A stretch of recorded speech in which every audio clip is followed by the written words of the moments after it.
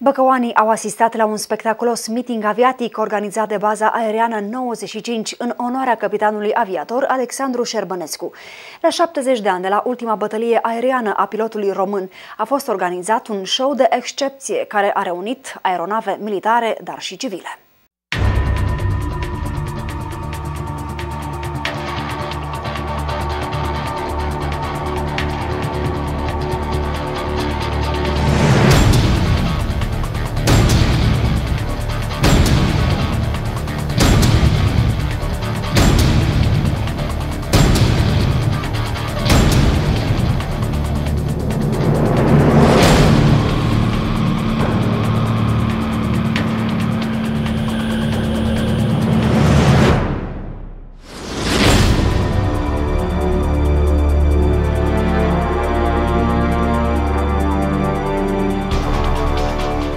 Ale aeronavelor Iare 99 Șoim, C-24J Spartan, MiG-ul 21 Lancer și elicoptere Iare 330 Socat. De asemenea, avem invitați speciali pe iacări acrobați și Aeroclubul României. Va mai fi și un exercițiu de căutare-salvare prin luptă.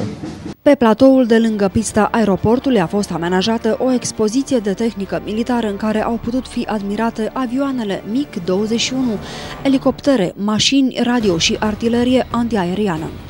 Copiii, dar și adulții s-au cățărat pe avioane să se fotografieze supravegherea cadrelor militare. O scurtă ceremonie religioasă a dat startul evenimentelor. Un MiG-21 Lancer, pilotat de generalul Cătălin Bahneanu, fost comandant al unității Băcăoane, a făcut demonstrații de virtuozitate.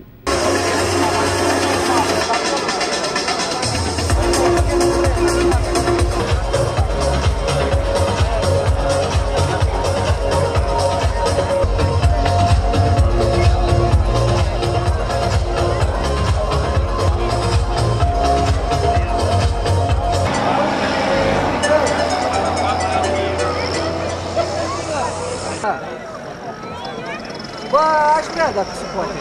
Bază, vă aliniați! Unde, unde să vin? Am să fac și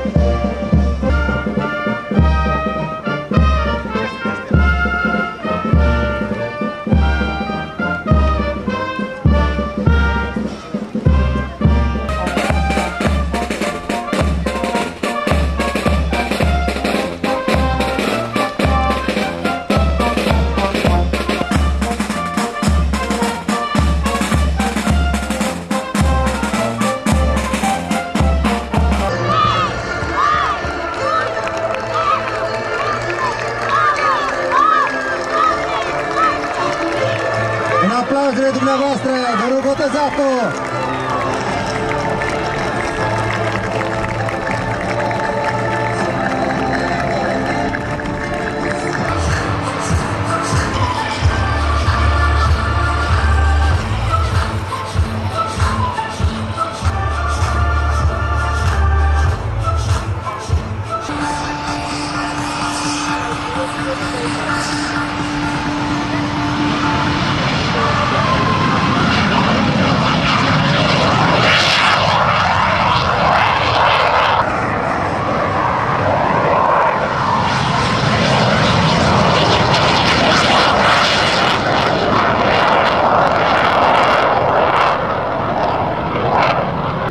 Și mă bucur că s-a luat hotărârea ca acest eveniment să fie organizat aici la Bacău.